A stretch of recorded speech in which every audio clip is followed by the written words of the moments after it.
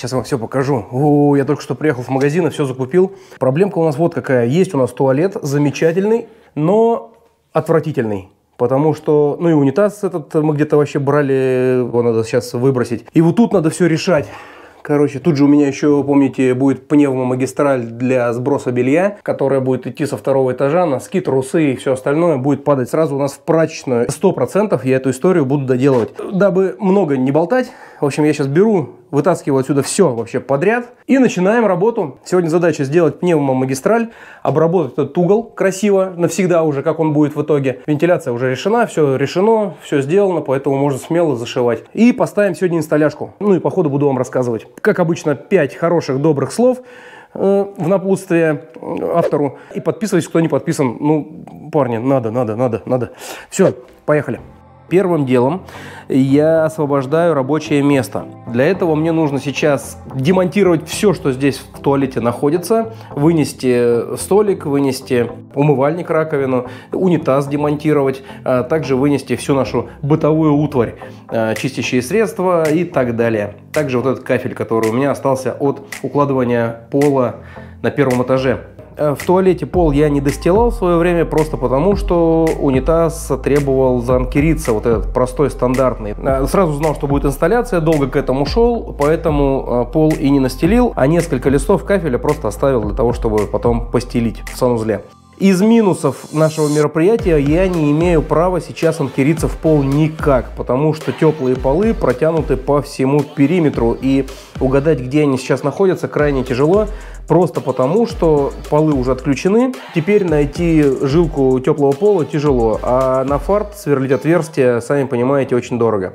Поэтому, друзья, анкерить в пол не буду, э, немножечко отойду от планов установки правильной инсталляции. Я просто забетонирую основание так, что оно никоим образом не сдвинется. И добавлю несколько еще пластин укрепительных, как я на втором этаже делал, э, точно так же. Сантехника у нас сегодня будет Оливис. Друзья, о ней я еще расскажу позже, когда начнем ее монтировать. Но познакомился давно, уже читал о ней. Э, Цена-качество прям на выигрыше. Ну, в общем, друзья, если интересно будет, э, либо ссылки добавлю, либо просто ищите, когда увидите коробку, там надписи все сохранились. Мы закончили, в общем, со всей этой историей, построили этот шкаф, э, который надо было построить еще кучу лет назад. Сейчас вот в этом месте будем монтировать инсталляцию, но не просто ее монтировать, а потом мне нужно будет обвязать ее стеной, определенный, потому что вот здесь будет уже кафель, керамогранит, там не знаю пока, что это будет. То есть она будет встроена здесь э, в такую определенную стену. Уже купил для этого всего дела э, также фанеру. Так, инсталляшку мы с сыном заехали, взяли компанию стройсистемы, филиалы по всей России. Она называется Оливс. Оливс. Э, данная инсталляция создана из высококачественного металла. У нее утепленный бачок сливной, который имеет толщину всего лишь 10 сантиметров, а утепление дает возможности не создавать конденсат при работе. Дальше 4 положения ножек от 0 до 35 сантиметров. Чтобы вы понимали, мы с Никитой Денисовичем сначала изучили все, а потом уже взяли то, что на самом деле сегодня даст фору многим именитым брендам. 48 сантиметров ширина. Вот так это будет выглядеть. На самом деле, конечно, для нашего дома можно было и 60 сантиметров сюда вмонтировать, но мы взяли, чтобы показать вам, какие миниатюрные конструкции бывают. Еще для примера, как раз для тех, кто живет в мегаполисах, имеет небольшие квартиры, самый оптимальный вариант, потому что удобная, компактная и всего лишь 10 сантиметров от стены. Ну, в нашем случае у нас там уже вмонтирована канализация, поэтому мы отойдем от стены побольше, да, и нам здесь, благодаря такой стене, наверное, не страшно, можно тут и на 30 сантиметров отойти. Но мы сделаем вот по э, канализации. Все, друзья, музычка. Начинаем раскрывать это все и монтировать. Сын, с тебя ножик и поехали. Música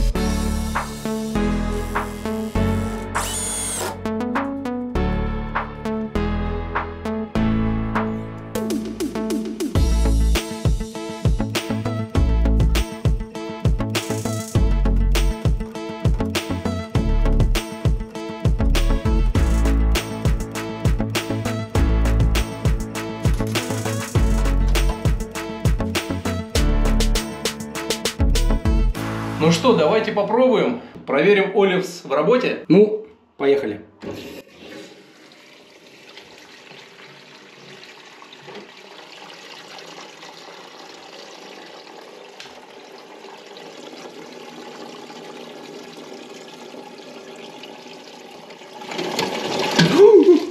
Что я сделал? Нельзя ни на что нажимать. Да, я немножко смыл. Он, чтобы смылся до конца держать надо? Точно так же, как на нашем туалете наверху, который тоже Оливс. Но здесь он просто не полностью... Так это я просто кратковременно нажал. Все, техника отработала штатно. Отключилась. Так, теперь смотри, что мы должны были сделать еще в самом начале, сынок. Берем вот это, вот так ставим. И пока, чтобы никто ничего не надавил, мы закроем. Ну да. Так, ничего не подтекает, все хорошо, мы спаяли все грамотно, сын. Сейчас что мы делаем? Мы монтируем керамогранит. Сейчас вымеряю плитку и начинаю укладывать ее с мыслью, что вон там у нас будет потом специальная потайная дверца, ну, чтобы все видно не было.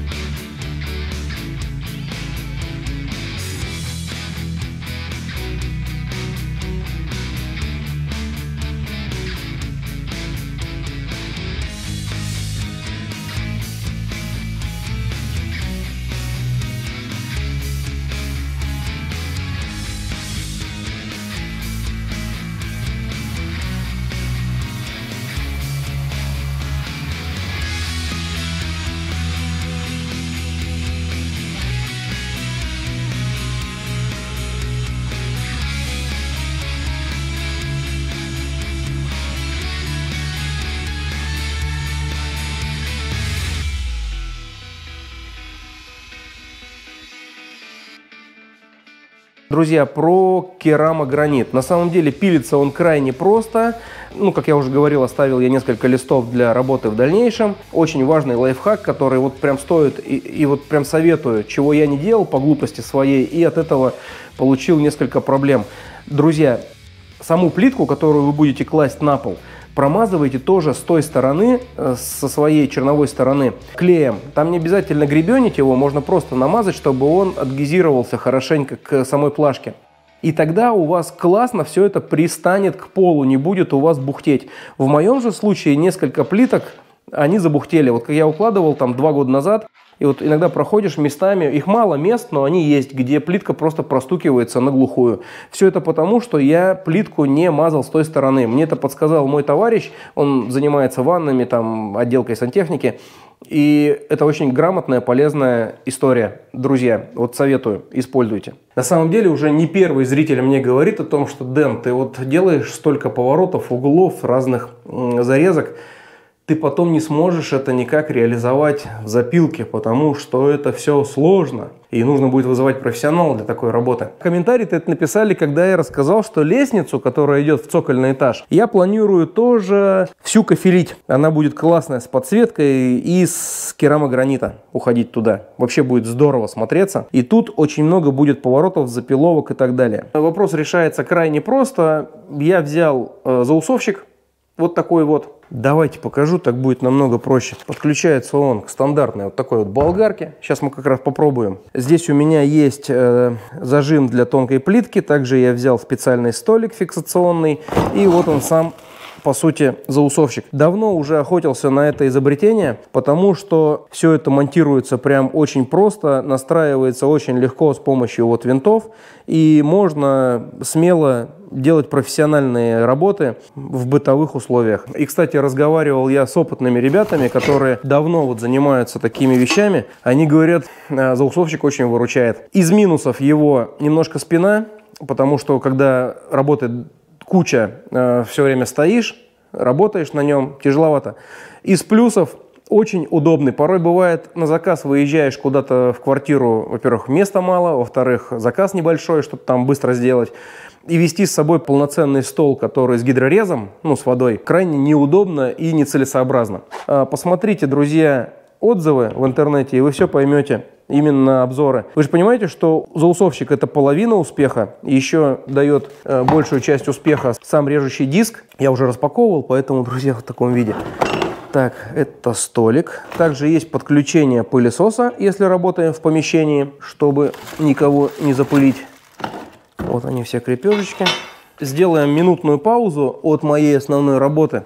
Я вам покажу, как он работает. Мне просто самому даже интересно затестить. И потом продолжим уже работы дальше в санузле по э, керамограниту. Так, я быстро это собираю и идем на улице пилить.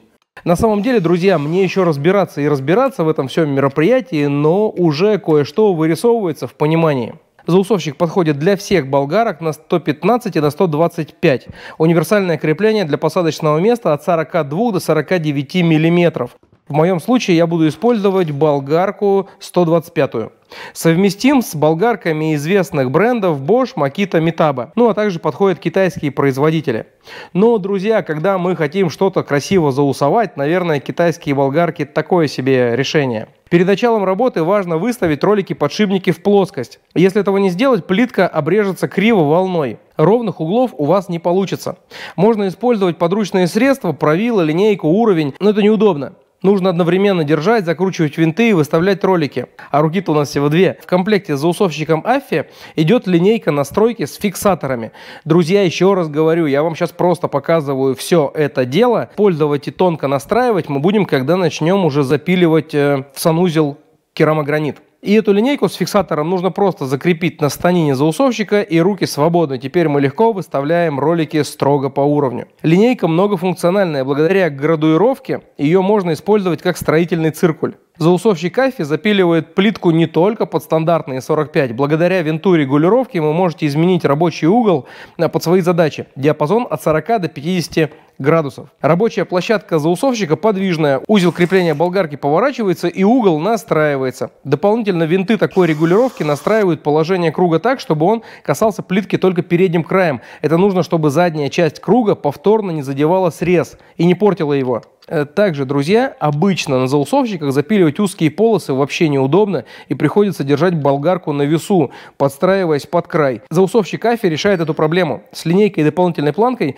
мы можем зафиксировать полосу и сделать кромки быстро, точно и аккуратно. Есть метка направления реза, своеобразная стрелка. Предусмотрены две метки смотровых окна. С помощью нее легко оценить расстояние до круга болгарки и до конца плитки. А градуированная шкала помогает повернуть круг на несколько градусов, так, чтобы он не касался поверхности запила задней частью. У большинства заусовщиков ручка только одна, у Афи их две. Это особенно важно, если заусовщик не закреплен в станине или на верстаке. Чаще всего производитель просто вваривает гайки под ручку болгарки. Это плохое решение, использовать такую ручку в работе неудобно. Афи удобный рабочий заусовщик, без ошибок конструкции. В общем, друзья, подытожу. Мне очень понравился данный аппарат в работе, и я теперь буду им пользоваться постоянно.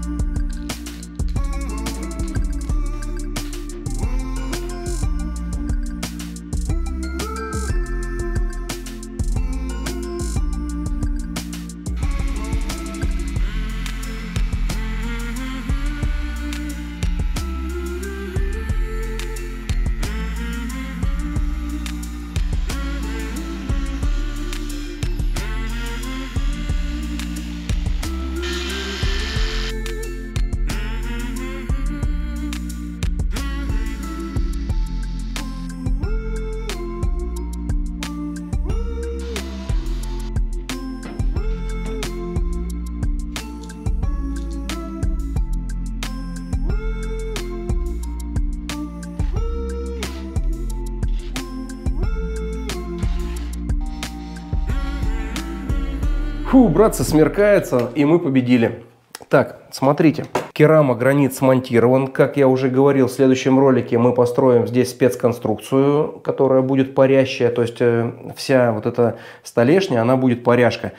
И я ее буду отделывать керамогранитом также. Она будет, все будет здесь керамогранитное. По пневмоконструкции вы это увидели. Она вот так пока смонтирована, но когда это будет э, закафеленное все, закафеленное, закермограниченное, здесь будет просто какая-то открывашка для сбрасывания. Обещаю, будет интересно. Что мне осталось сейчас сделать? В комплекте с инсталляцией Olivis шла еще Olivis вот такая клавиша для инсталляции серии Porto.